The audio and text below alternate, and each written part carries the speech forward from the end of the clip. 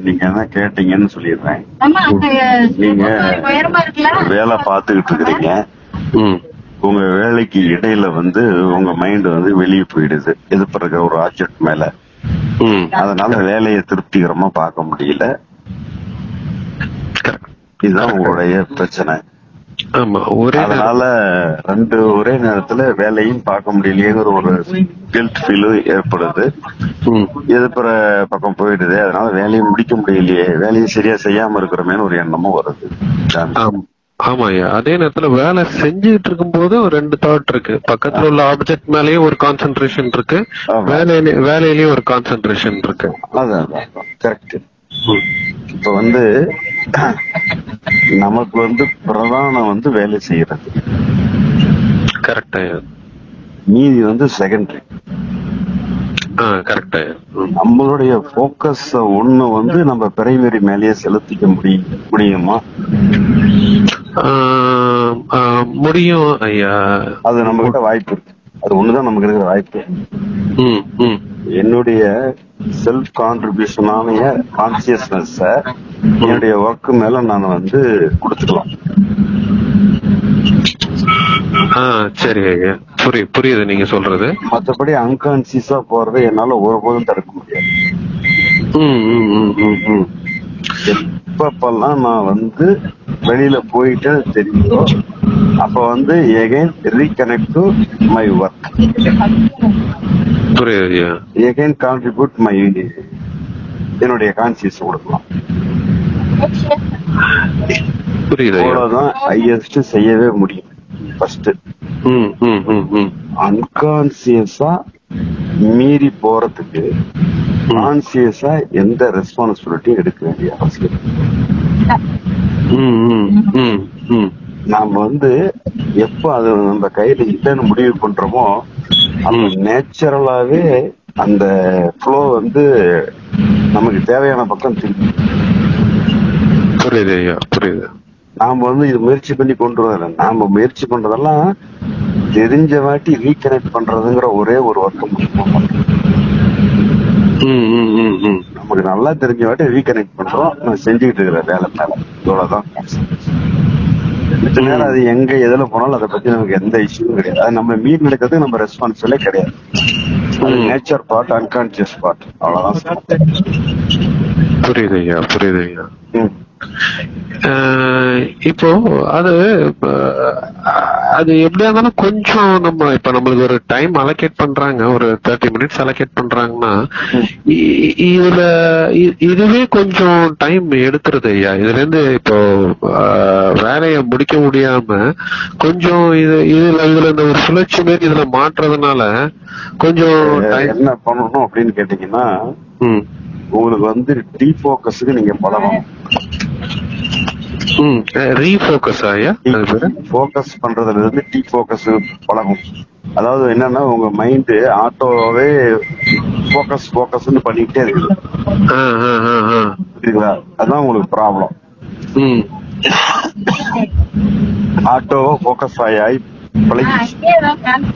ம் அதனால ஆட்டோ ஃபோக்கஸ்ல இருந்து டீஃபோக்கஸுக்கு மாத்துறதுக்கு நம்ம முயற்சி பண்ணலாம்.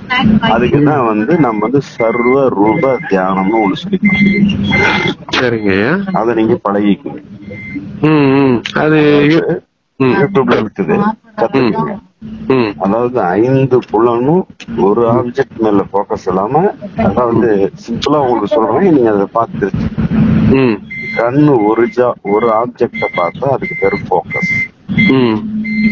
கண்ணுல வந்து ஒரு ஆப்ஜெக்ட் இல்லாம டோட்டலா பார்த்தா அதுக்கு வந்து பேர் வந்து டீப் ம் காதுல ஒரு சத்தத்தை கேட்டா சிங்கிள் எல்லா சவுண்டும் கேட்கறதுக்கு அளவு பண்ண டீ ம் புரியுதுங்களா? புரியுது காது மைண்ட்லயும் அதே மாதிரி தாட் இல்லாம எல்லாம் வண்டி போறதுக்கு அலோவ் பண்றது. இதுதான் டீ ஃபோக்கஸ் ம் ஒரு தாட் மேல ஃபோக்கஸ் பண்ணாம எத்தனை வந்துட்டு போட்டுன்னு அலோவ் பண்றதுக்கு தெரியல.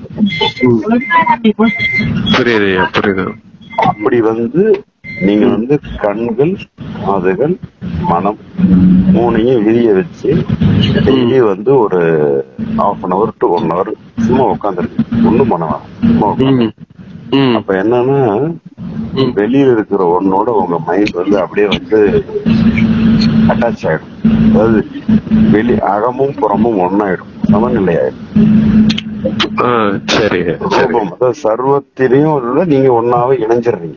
இணையற தன்மை வந்து உங்களுக்கு இன்னும் மேன்மைப்படும். புரியுது புரியுது. இணையற தன்மை மேன்மை குறைபாடு தான் இப்ப நீங்க கண் நீங்க ஃபேஸ் பண்ற ப்ராப்ளம் இப்போ வந்து இந்த இணையற தன்மைக்கு தான் இந்த பயிற்சி நம்ம இந்த இது பயிற்சின்னு இல்ல இந்த இணையற தன்மை மனசுக்கு கொஞ்சம் பழக்கறோம்னு கூட வச்சுக்கலாம் கிட்டத்தட்ட. அப்ப அடுத்தது வந்து இதே அந்த ஒன்றுதல் வந்து நம்ம வேலை மேல வரும்போது வெளியில டிஸ்ட்ராக்ட் ஆகாம மைண்ட் அந்த வேலையோட ஒன்றும் அப்ப வேலை முழுமையா நடக்கும் மத்தவன் வந்து ஒரு மணி நேரத்துல முடிக்கிற வேலையை இங்க அரை மணி நேரத்துல முடிச்சு முன்னாடியே கூட விட்டான் இவங்கதான் வேலை. புரியுது புரியுது. நானும் நீங்க சொன்ன அந்த யூடியூப பாக்குறேன் பார்த்துட்டு அதையும் நான் பண்ண ஆரம்பிக்கிறேன். இதே இது ஒண்ணுதான். மத்த எல்லாம் எல்லாம் புரிஞ்சிருது. அது வந்து இதோட மேட்ச் பண்ண முடியுது. அனுபவத்தோட வாழ்க்கையோட. இந்த ஒரு இதுல மட்டும் சிக்கி கொஞ்சம் ஒரு சுழற்சி ஏற்படுறதுனாலதான் சரி ஐயாட்ட கேட்டா இதுல இப்ப நான் உங்களுக்கு புரியுது இல்லையா? ஆ, புரியுது ஐயா புரியுது ஐயா அவ்வளவுதான் சொன்னேன். இது உங்களுக்கு மட்டும் இல்ல நிறைய இந்த ஃபீல்ட்ல இருக்கும்போது இந்த பிரச்சனை இருக்குது. ம் இது காமன் ப்ராப்ளம் பாரு எல்லா ஃபேஸ் பண்றவங்களுக்குமே இருக்கு. ம் ம் ம் ம். ஆமா. ஐயா இதே ரிலேட்டட் இன்னொரு ஒரு சுச்சுவேஷன்லயே மாட்டுறேன் இப்ப எப்- எப்படின்னா அதாவது நான் ஒரு இது பேச வரேன் அந்த பேச வரும்போது ஒரு எப்படின்னா வேற ஒரு தாட் பக்கமும் ஒரு கான்சென்ட்ரேஷன் போயிடுது. இப்போ நான் ஒரு ஏதோ ஒன்று சப்ஜெக்ட் ரிலேட்டடா பேசிட்டு இருக்கேன்னு வைங்களேன் திடீர்னு யாராவது ஏதாவது அங்க ஏதாவது பண்ணிட்டு இருந்தா இல்ல யாராவது என்ன பார்த்துக்கிட்டே இருந்தா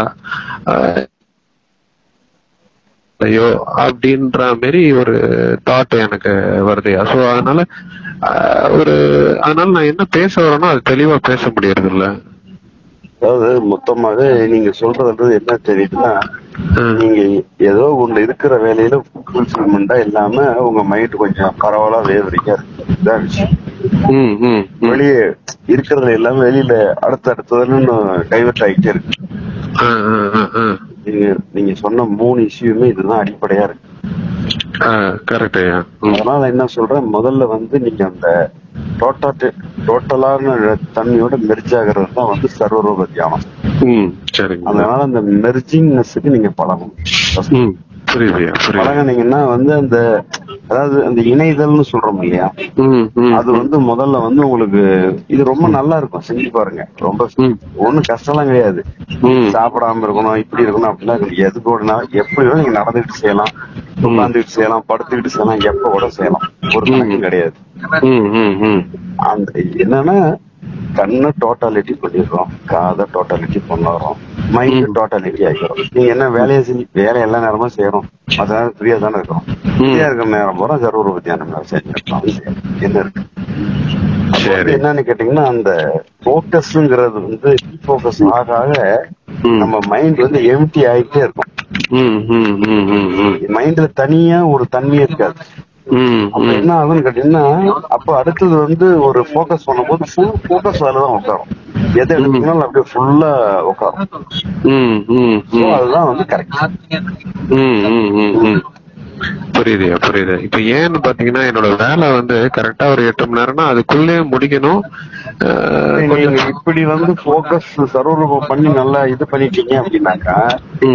நீங்க வந்து எட்டு மணி நேரம்லாம் தேவைப்படாது. நாலஞ்சு மணி நேரத்துலயே முடிச்சிட்டீங்க மூணு மணி நேரம் ஃப்ரீயா இருக்கலாம். புரியுதுய்யா புரியுது. நான் சரி நான் கொஞ்சம் முயற்சி பண்ணிட்டேன். நம்ம ஃபோக்கஸ் எடுத்துட்டு வரணும். நம்ம வந்து சீக்கிரமா முடிக்கணும். பண்ணாதான் வெற்றிங்கிறது ஒரு தப்பான வழிமுறை.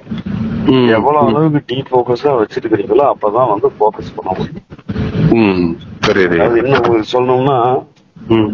இப்போ பூமி பெருசா ஸ்பேஸ் பெருசான்னு எது சொல்லுவீங்க? ஸ்பேஸ் தான் பெருசு. ஆனா ஸ்பேஸ் கண்ணுக்கு தெரியாது. பூமி கண்ணுக்கு தெரியும். சும்மா ஒரு ம். சொல்றேன் ஒரு பேச்சு.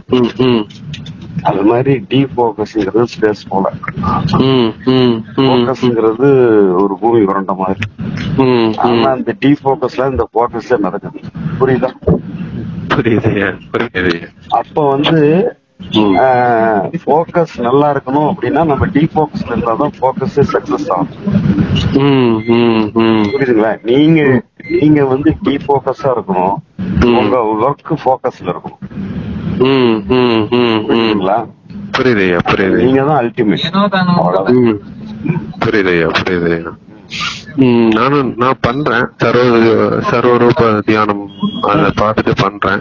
அடிக்கடி உங்களுக்கும் கால் பண்றேன் கால் பண்ணி ப்ராக்ரஸ் சொல்றேன் நீங்க முதல்ல ஃபர்ஸ்ட் இந்த சர்வரூப தியானத்தை ஒரு மாசம் எடுங்க. அந்த இதுல பாருங்க நம்ம சர்வரூப தியானம் லிங்க் இருக்கு அதை எடுத்து கொஞ்சம் பாருங்க. அப்புறம் அந்த தியானம் புக்ல சர்வரூப தியானத்தை ஐயா போட்டிருப்பாங்க. அதை ஒரு ரெண்டு மூணு தடவை படிச்சு பார்த்துக்கிட்டு சும்மா நீங்களே வந்து ஒண்ணும் இல்ல. அந்த டோட்டல்னஸோட இருங்க. அவ்வளவுதான். சரிங்க சரிங்க.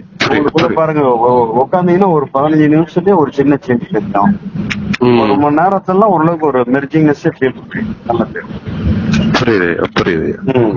நான் இதோ இன்னைக்கே ஸ்டார்ட் பண்ணி பண்ண ஆரம்பிக்கிறேன். பண்ணிட்டு நான் நான் உங்களுக்கு சொல்றேன். நல்லது ஐயா. ம்.